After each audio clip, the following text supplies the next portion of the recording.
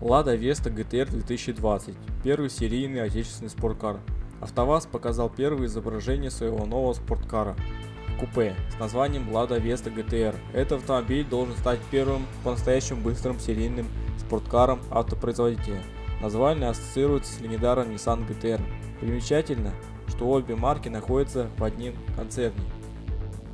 Ранее самой скоростной серийной Ладой была Калина NFR – оснащенная форсированным 136-литровым 1.6 бензиновым двигателем. Автомобиль разгонялся до первой сотни за 9,2 секунды. В настоящее время самой быстрой современной версией является Lada Vesta Sport 1.8 145 лошадиных сил, позволяющая преодолевать стрелку спидометра первые трехзначные числа за 9,6 секунд. В обоих случаях динамические показатели далеко от идеала.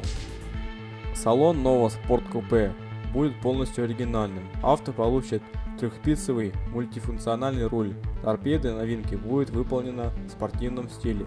Приборная доска будет полностью в цифровом с возможностью визуальной настройки.